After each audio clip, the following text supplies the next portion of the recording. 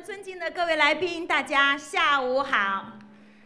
我是安妮，我来自青岛市慈善总会爱基金。首先，请允许我代表爱基金，对尊敬的堪布的到来和所有今天嘉宾们的到来，表示最最热烈的欢迎和感恩。谢谢大家。天来到我们慈善论坛现场的，有来自全国各地从事慈善的成功企业家，有热心公益事业的爱心人士，还有很多的奉献志愿者们。呃，我看到这个剧场已经达到了历史以来就开放以来的最多的人数，已经人满爆棚，而且我们的爱心爆棚，正能量爆棚。接下来，让我们恭请。慈善总会爱基金，我们的会长陈立刚先生为大家发言，谢谢。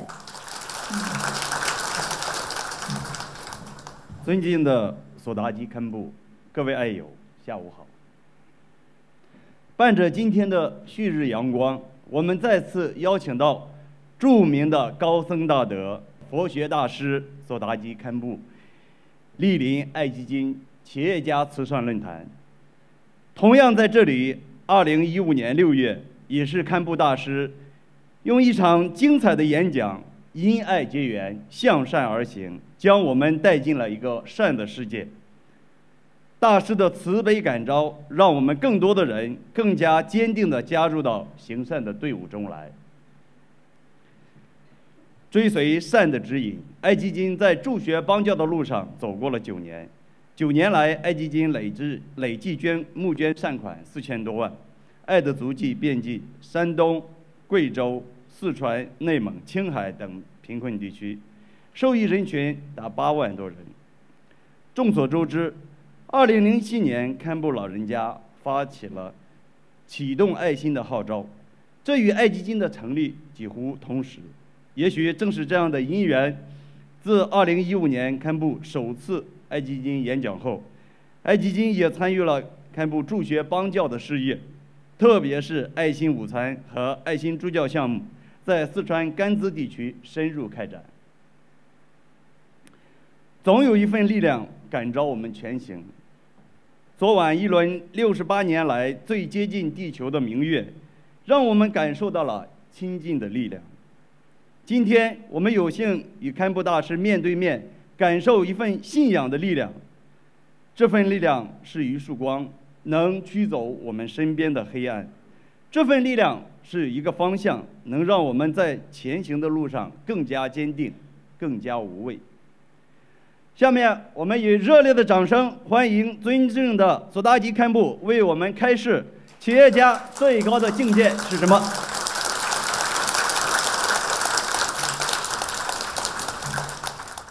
尊敬的陈会长，尊敬的爱基金的所有的朋友，以及来自各个地方的企业家和慈善家，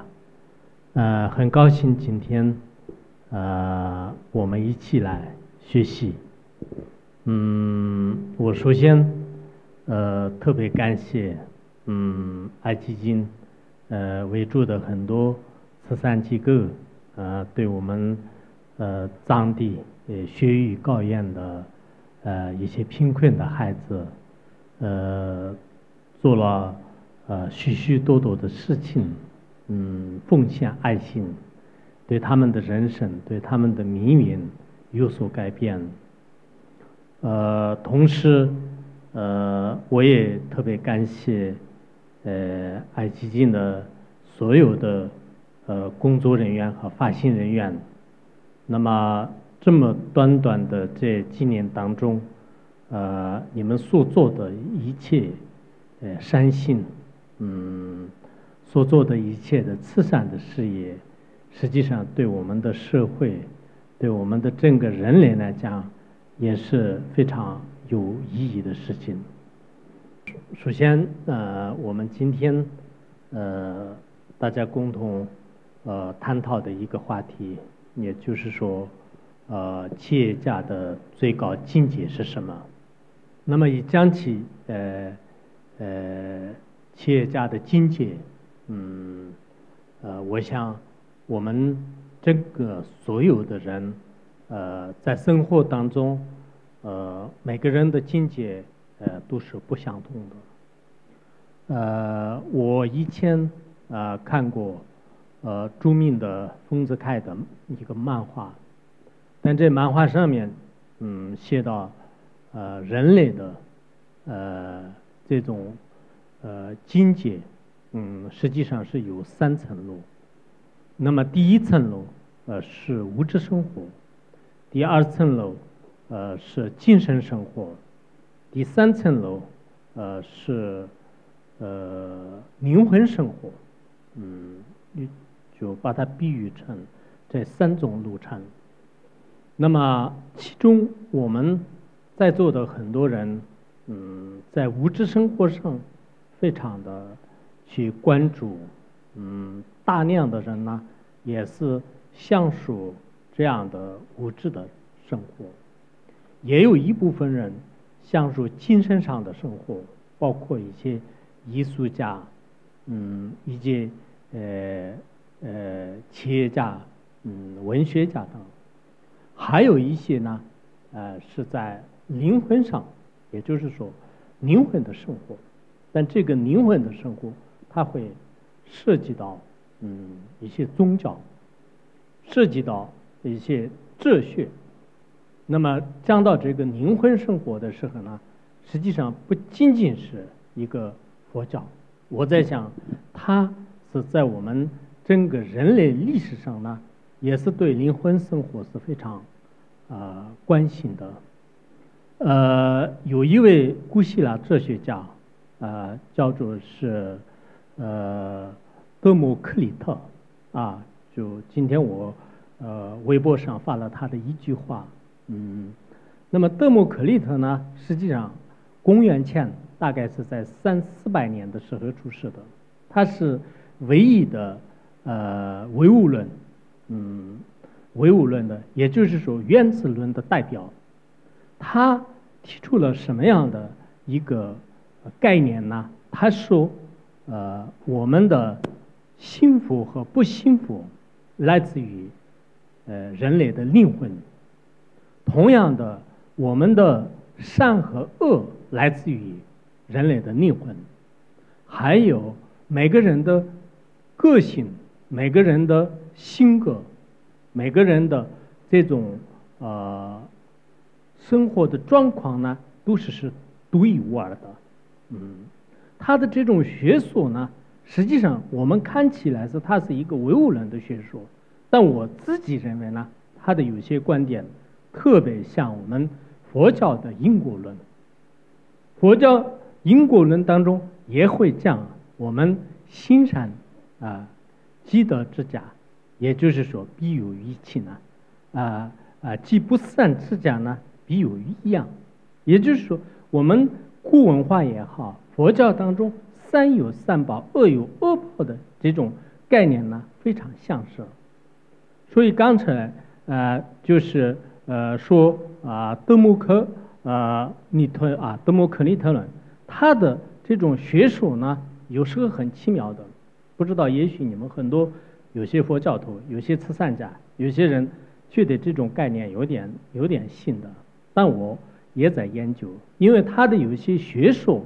跟后来的柏拉他柏拉图的思想呢有着冲突。有些历史上记载说是他有五十二种不同的，包括天文、天文、地理等不同的学说。但是因为后来跟柏拉图的思想有所冲突呢，就是想把他的很多的著作呢就是烧坏。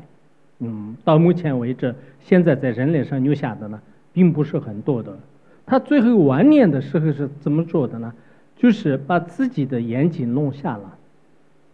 很多人问他为什么这样呢？他说：“我为了更看清一切事物。”那么这个意思呢，就是说他要内观，跟内心要接近。那么这个相当于呃呃无舍宁呃什么呃宁木马啊无隐宁呃宁人嗯弄二，就是老子的这个学说呢。也是比较相通的啊，因为前面外在的各种事物呢，也许让我们可能会盲目，让我们可能会聋哑，就变成这样的原因呢，他最后就把自己的这种眼镜都是已经就弄掉，就是下。那这样的观点实际上就是说，他追求一个人类最高的一个灵魂生活。但这样的灵魂生活呢，也许你们今天很多慈善家，包括一些企业家的话呢，不一定很认可。嗯，不管怎么样，我今天很想通过这种方式来给大家引来一种思考：为什么有些人在物质上获得快乐，需要他的这种生活得到的都是在物质上得到？有些人只有精神层面来去去呃去获得，有些人除了物质和精神以外的更高的另一种境界来得到满足。那这上面有什么不同呢？实际上，追求这样的三种真理的人呢，就像是金字塔似的。那么越来越上去呢，可能追求的人越来越少。因此，我啊今天呢要像这样的。呃，首先我们要讲境界的时候，可能在人类的价值观上面，在人类的追求的各种不同的事物的过程当中呢，每一个人的个性，每一个人的意乐都不会很相同的。每个人觉得，有些人觉得物资获得越来越多，那么这是最有价值的；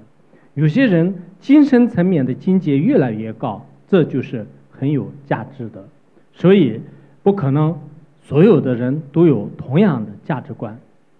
那么，啊，这是我想说的一个事情。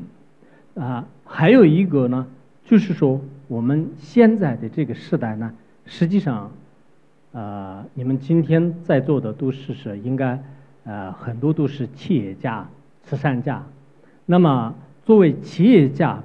嗯，他的最高境界要去寻找的时候呢？这个企业就是对整个呃时代、对现在的社会呢，有着很大的变化，或者说是有很大的影响。为什么这么讲呢？我们大家都知道，以前各个国家的一些高层领导出出国访问的时候呢，可能带的大多数是外交部部长啊、国防部部长啊等等等。但现在有没有呢？现在也有，但现在呢，就大多数的人呢，带着的是什么呢？就是各种不同层次的企业家。嗯，我们经常在电视上，在很多方面看到呢，就是各个国家呢，在国际上互相来往的时候呢，通过企业家的这这条线，通过企业家的这种思路，他们的这种经济线来，就是互相对接。互相连接，这也是我们看出来。实际上，经济或者说是企业家呢，在某种意义上面可能会超出了思想家、文学家、宗教的就这种佛学家等等，就许许多多的人的这种思路。包括我们现在所谓的企业呢，可能对整个社会呢有着很大的变化。嗯，前两天。我们呃双十一的这个时候呢，大家都知道，啊，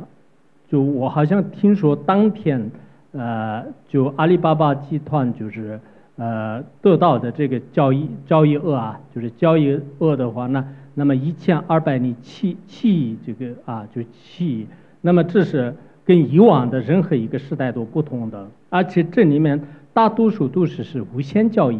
就无限的这种交易额，百分之八十一点八七八，就这么多。但这个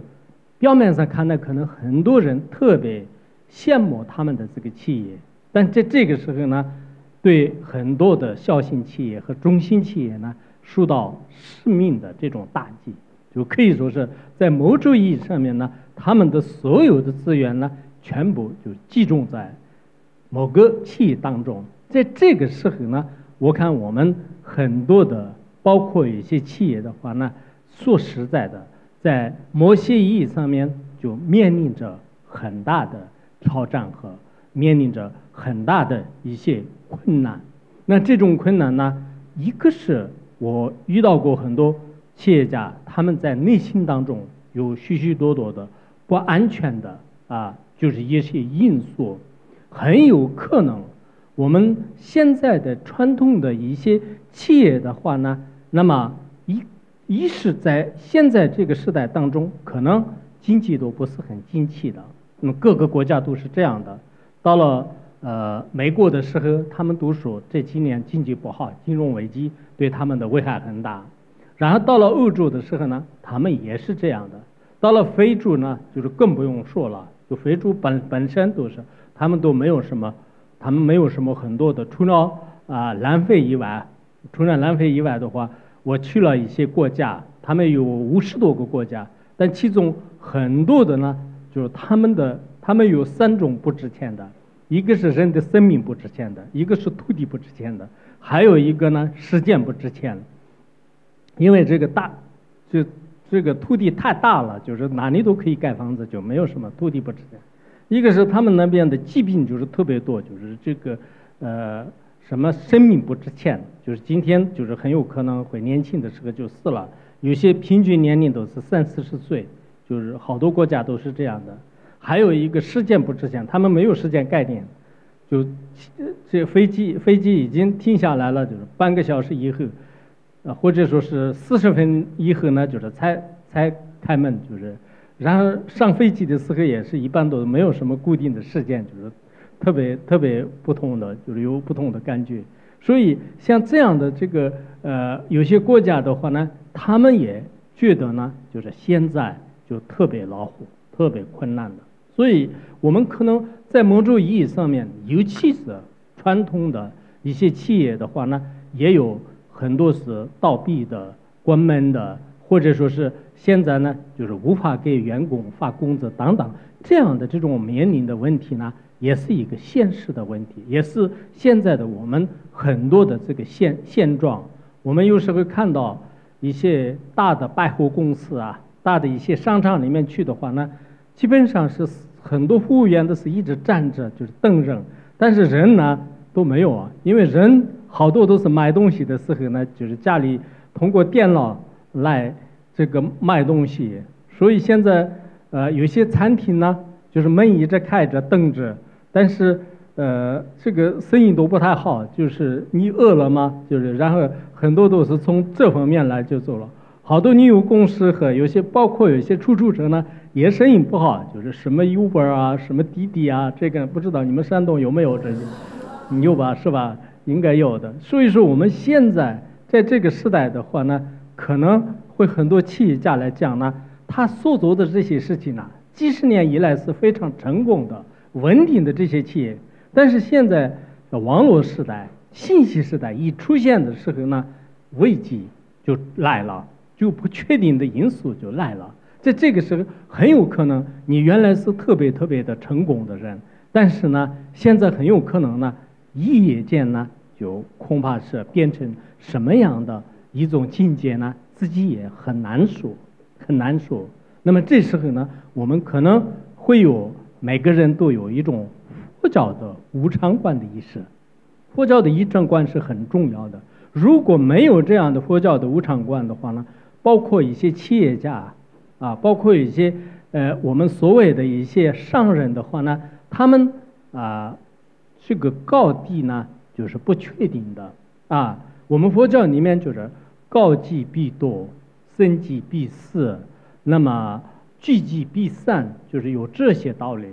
那么我们如果不懂得这些道理的时候呢，很有可能自己心里呢就承受不了啊。以前。呃，这二三十年以来呢，中国企业家自杀的人呢就已经就是二十多万了，接近三十万。有些报道当中也是这样讲的。还有有些企业家得抑郁症的、得得这种恐惧症的人呢，也是是比比皆是，非常非常多。在这样的现状下呢，我们可能很需要调整自己的心态啊。前一段时间我看到。呃，马云在清华大学的一个好像管理学院就是讲话，讲话的过程当中，他说做生意的人到了一定程度的时候，佛教的思想呢没有不行的。嗯，这句话很很赞同啊。像他像他们的话呢，也表面上看了好像他们很成功，但实际上他们也有许许多多的烦恼，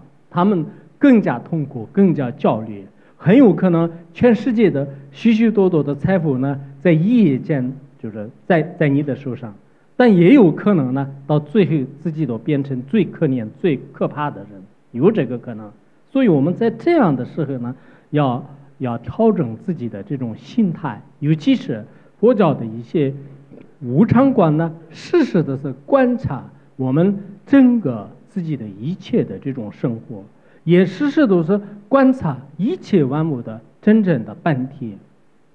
我今天呢，并不是在以企业的名义来给大家讲佛教，其实，但是呢，我也内心当中特别希望很多呃企业家，你们也应该。以佛陀的思想和佛陀的智慧来观察自己的人生的话，也许对你个人的成长和个人的生活有着非常大的这种变化，或者说是利益。因为我们现在这样的一个生活啊，有时候看呢，这是特别美好的，这个人间是像花园一样特别美好；有时候看到呢，这个人间呢，就是特别的丑恶。好像像地狱一样的，或者说是像剧场一样的，人与人之间也是是尔虞我诈、勾心斗角。那么做事情的话呢，也中间需要就是参与许多的这种欺骗呐、诱惑啊、贿赂啊等等等，就是许多不良的这种因素，恶性循环呢不断的蔓延。如果没有它的话，好像是在这个事件当中是寸步难行。所以说呢，我们有时候是。早在两千五百多年前的这种佛陀的伟大思想呢，对我们现实生活当中的人来讲呢，应该说是是不可缺少的。尤其是你们像很多所谓的成功人士啊，你们现在很多人呢，就是不会就是对自己的意识有担忧的，不会对自己的这种生存和基本的生活呢，就是有一些顾虑的。可是呢，你内心当中真正是得到了真正人拥有的。需要这种啊快乐和幸福吗？也是是不一定的。因此，我们今天这里呢，也是很放松的，嗯，也是随意的，呃，跟大家探讨一些呃这方面的呃问题。那么这个时候呢，啊，我们要讲到这个呃什么是企业家呢？嗯，大家都应该呃知道，呃，所谓的企业家呢。实际上是对整个社会呃的经济推动呢有积极的作用，嗯，这样的认识呢可以称为是企业家。如果我们对自己的家庭、对自己的个人的生活呢，呃，就是做分分度的，就是这样的人呢，呃，我们可能最多是给他称个商人，或者说是经营人士，嗯。那么啊，大家都知道，文学家也好，科学家也好，佛学家也好，所谓的这个“家”啊啊，在这个词就是加上这个字的时候呢，我们都很多人都应该会关注，因为在众人当中呢，就是对你的整个社会效益，对你的整个经济效益，在这方面呢，对社会有真正利益的人呢，我们都可以称为是企业家。那这样的话。我听说呢，就是今天你们在座的，尤其是爱基金的很多的这些成功人士的话呢，啊，确实是对以前啊，对我们的社会就非常的呃关心啊，对我们的呃这个偏僻地区的一些孤寡老人啊，或者说是一些呃这个失学的孩子啊啊，包括啊我们现在各个地方的这个。呃，监狱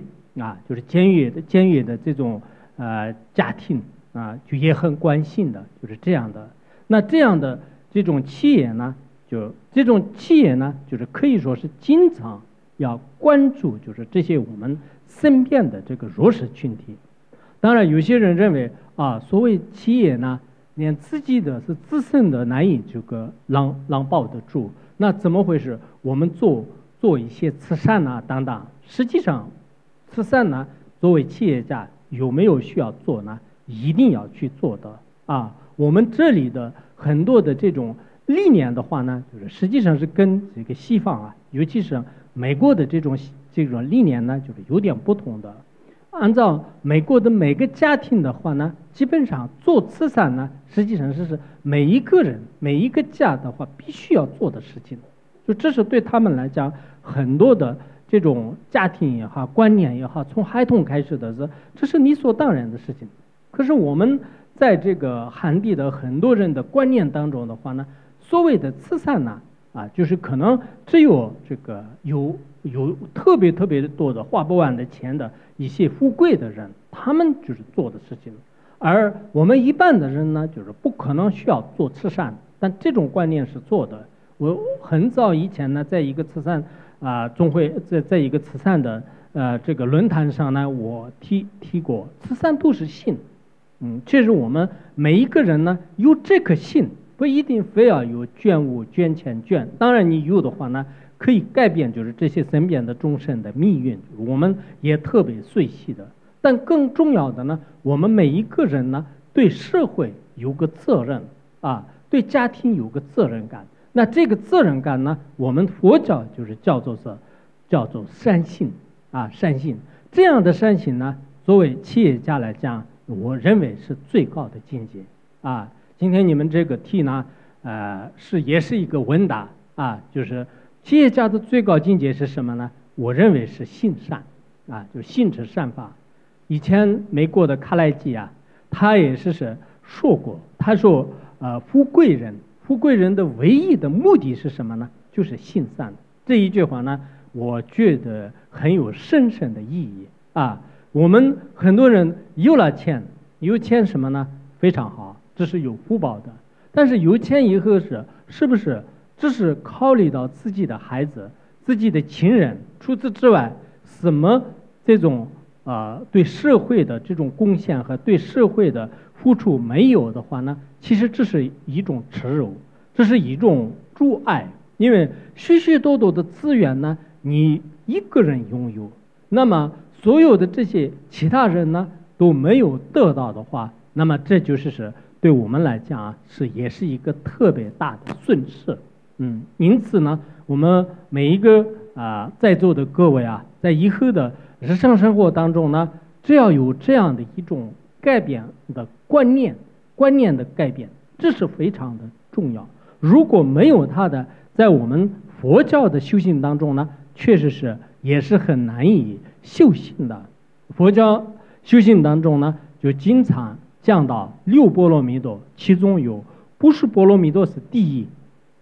不是波罗蜜多里面呢，有有财布施、法布施、无为布施，也就是所谓的财布施。我们现在经常讲的就是做做慈善和做布施。所谓的法布施呢，现在我们经常讲的什么就是教育啊，也就是真理呢，就是传给别人。其实这也是一种慈善啊。我们这里有些慈善家呢，可能你从从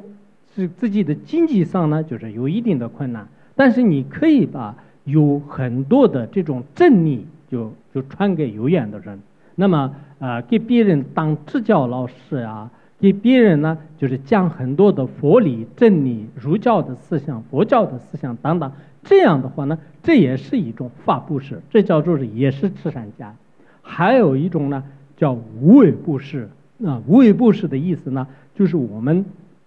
看到其他的众生呢。受到生命威胁的时候，受到生命威威胁的时候呢，我们会从他他在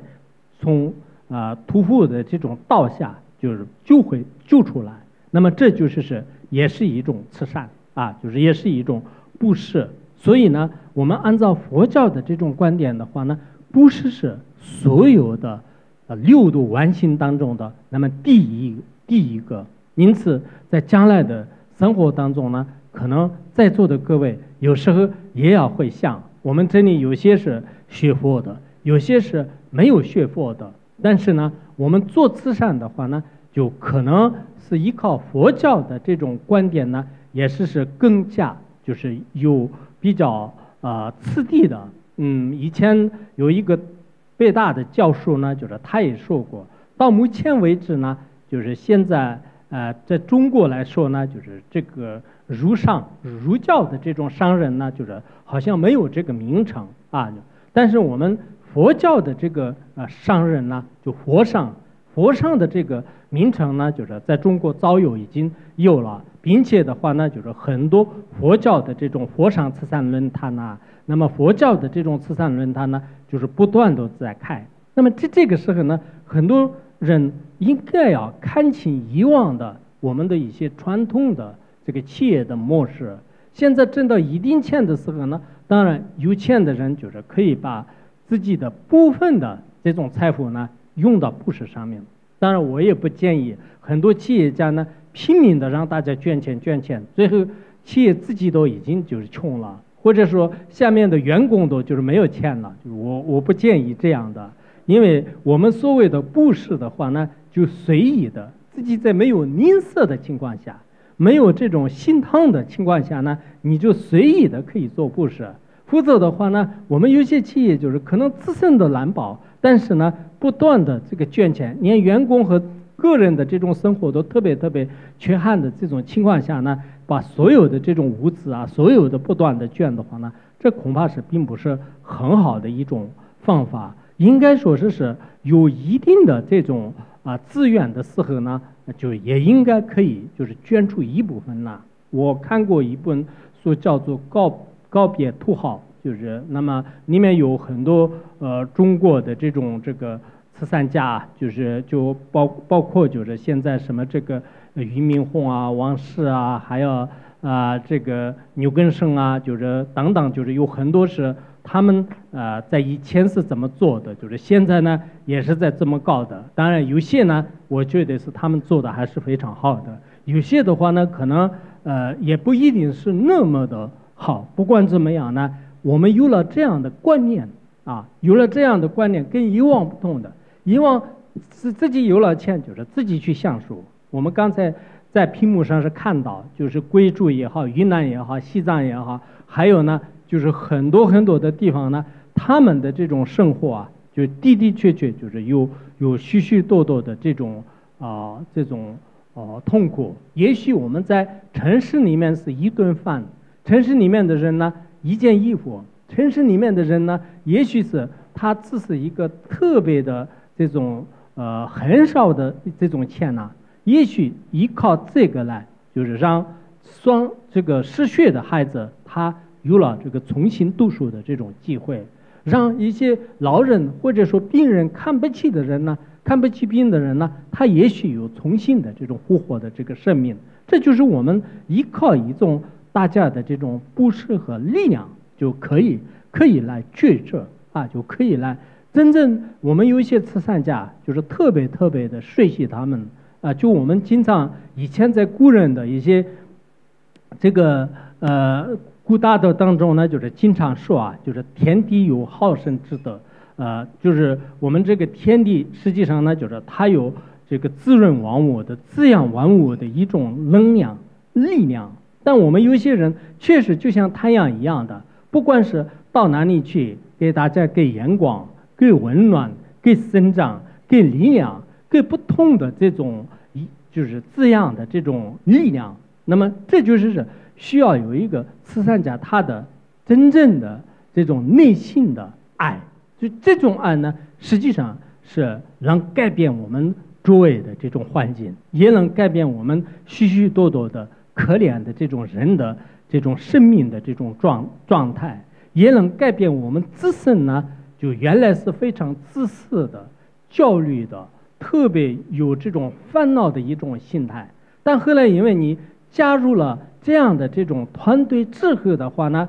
可以看到就自己的这种成长，自己的这种慈悲心呢日益就是提升。那么自己的真正的这种啊利他的这个修行的境界呢，也越来越提高。就这也是是从佛教层面讲，这叫做是大乘的大慈大悲菩提心呐，大慈大悲菩提心。我们有时候所谓的大慈大悲的菩提心呢。在念诵的课本当中呢，就是念得特别的纯熟啊，就是念得很足。然后我们在给别人面前讲的时候呢，滔滔不绝，就是讲得非常好。但是实际行动当中去做的时候呢，有时候恐怕是啊很难以置信的。也许可能刚开始有热气的时候呢，就做一段时间的慈善，但是这个时间长了以后呢，也许可能有些人的这种热量、热分呢已经退下来了。当然，有些人呢，真正内心当中有这种爱，这种力量呢，就是不容易退啊。我以前看过一本书，叫做《力量》啊，就这是这几年以来是非常畅销的一本书。那么这个《力量》的这本书里面呢，实际上就讲到了很多佛教的道理，但是他讲的方式呢，好像跟我们佛教的这种名词有些不同的。但它这里面的主要有一个思想。这个思想呢，就是说，所谓的爱，在整个宇宙间呢，最最伟大的力量，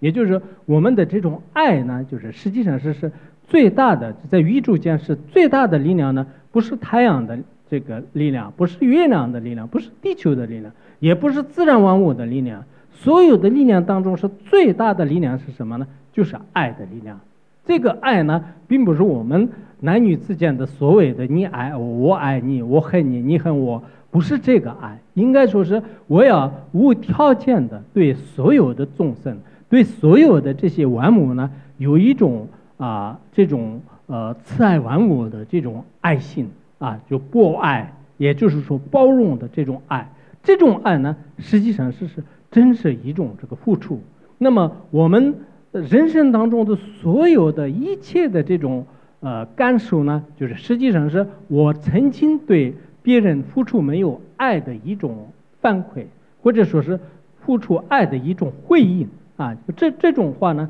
我觉得很有意思的。我们经常想自己就是做什么样的种什么样的种子呢，得到就是如此的果报啊，得到如此的果报。但是这个意思呢，就反过来讲，实际上就是说。我们在生活当中的所作所为，只要对这别人付出的话，我们会得到真实的一些力量。也就是说，我爱所有的任何的众生的话呢，那么任何众生呢，直接会间接呢对我有爱的。如果我对所有的任何的众生就是没有爱心的话呢，那么直接会间接呢，我得不到就是众生的爱。就这就是一个因果的自然的规律。因此，呃，我们今天呢，也是，嗯，从表面上看呢，就是这是一种，呃，企业家的，呃，这个思想的探索。但实际上呢，我们在探讨就是大乘佛教的这种博爱的，呃，无为的，呃，应该说是无私的一种思想。这种思想呢，无论是你是什么身份的人，只要他拥有的话呢，的的确确是特别的珍贵。啊，就是非常的呃珍贵。那么这样的这种呃形态呢，呃，就我觉得呃，不管是谁有啊，就这个人是很很伟大的。呃，以前呃洛克菲勒，嗯，那么是美国应该呃在上个世纪的时候呢，他是全球的呃就排行榜当中的也是当过这个首富啊啊，就是他是当过首富，他本身是。呃，大概是五十三岁的时候呢，呃，就像身体都变成木兰一样，就是看起来特别的这种可怜，就是疾病缠身。但后来他放弃了所有的，呃，包括就是他的一些呃这个企业和公就事情，他一心一意的呃就是做这个慈善的这种活动。后来很多人认为呢，就是因为这个慈善的这种力量呢，他夺获了就是四十。四十五岁啊，就是他八十三岁的时候，呃，就是就是八岁的时候呢，就是离开这个世界。那他的唯一的观点是什么呢？他就觉得呢，我们人类就应该，呃，不管是什么身份的人，人一定要对别人有一种爱，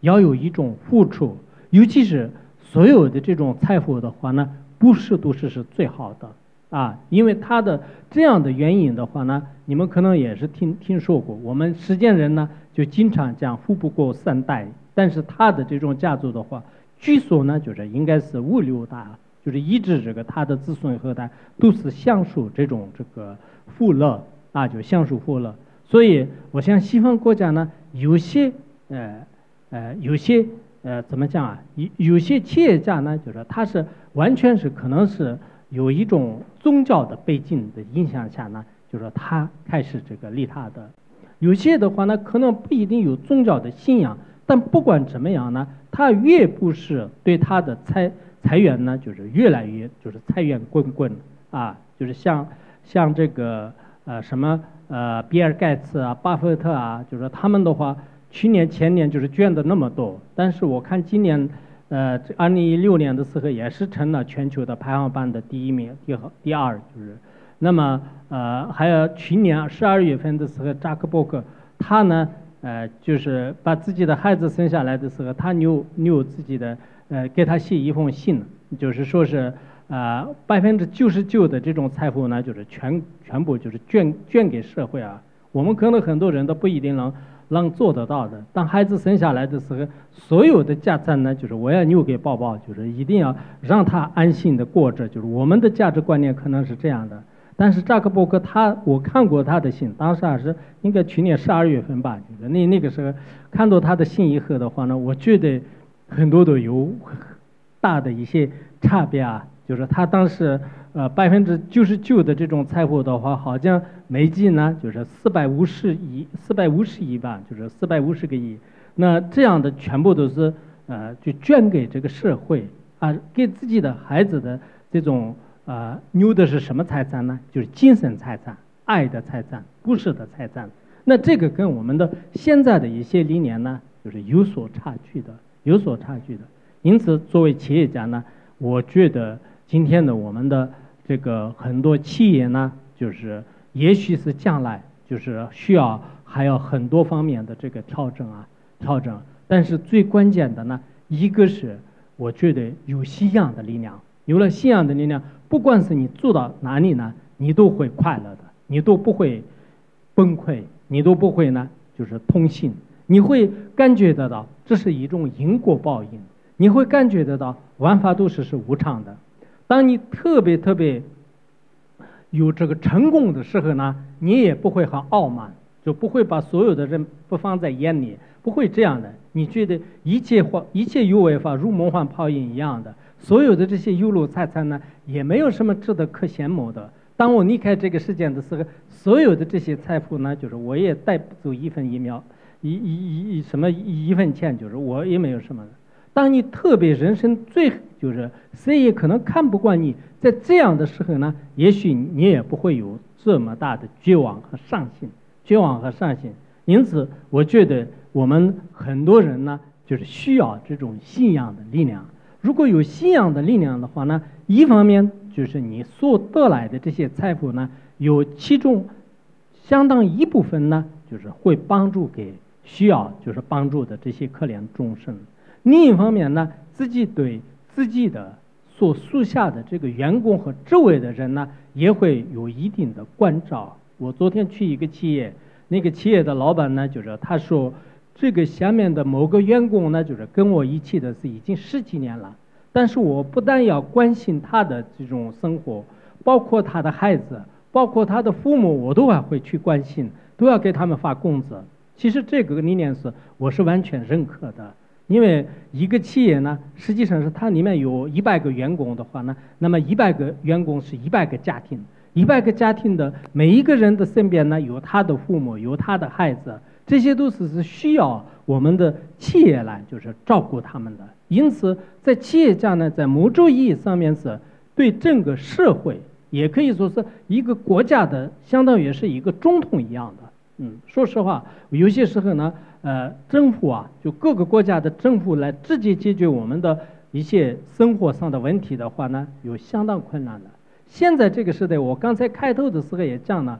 文学不重视，艺术也不太重视的，宗教更不重视的。重视什么呢？就重视这个企业家，重视呢就是经济社会，重视呢就是他们对现在的这个互联网时代的非常奇奇怪怪的各种各样的这种产品。那么那个时候呢，我们有一种崇高的这个意识来了解当前的行情，同时呢也要知道对身边的这些每一个众生呢有负责任的。还有我们有一些企业的话呢，它对整个社会、对整个人类要负责的啊，包括你做任何的产品、做任何的事情呢，尽量的不要有恶性循环，不要有造恶业的方式来，就是自己这个赚钱。如果造恶业的方式来赚的钱太多的话呢，到时候可能对自己的各方面也不一定带来呃真正的快乐。我的想法呢，啊，就是说我们啊在座的各位啊，就是今天呢，就是也是许许多多的一些呃爱心人士。那么在爱的这样的呃这种呃发心当中，嗯，在爱的啊力量下呢，我们每一个人。呃，都有这个利益众生的潜能。那么，利益众生呢，在所有的生活当中，在所有的价值观当中呢，我认为是它是最有意义的啊，就最有意义的。因此呢，啊，就是希望啊，大家用爱来，就是呃呃，就饶益，就是所有的不骗的啊这些众生。这样以后呢，我们呃整个这个世界啊。变得更美好、更快乐。你看我用的“乐”。